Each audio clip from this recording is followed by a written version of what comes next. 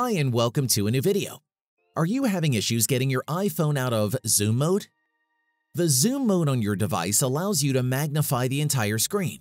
However, it could be quite complex to exit it. In this video, I will show what you can do when your iPhone is stuck in zoom mode.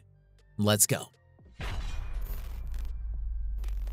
When in zoom mode, you need to use three fingers at once to scroll. There might be instances when you accidentally entered zoom mode. In this case, simply double tap on the screen using three fingers to exit it. You can also use this gesture to enter zoom mode again. Now, if your iPhone is still on zoom mode and double tapping does not get you back to its normal display, you can also try to force restart your device. This approach is very simple, but it frequently fixes any minor software glitches on your iPhone. For iPhone 8 or newer models, quickly press and release the volume up and volume down buttons respectively.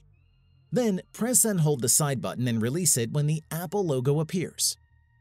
If you're using an older iPhone model, you can refer at the tag in the top right corner or find the link to the Apple support page in the description below to know how to force restart your device properly. If you don't want to constantly switch into zoom mode whenever you tap on your screen, you can also turn this feature off. Open the Settings, navigate to Accessibility and tap on Zoom.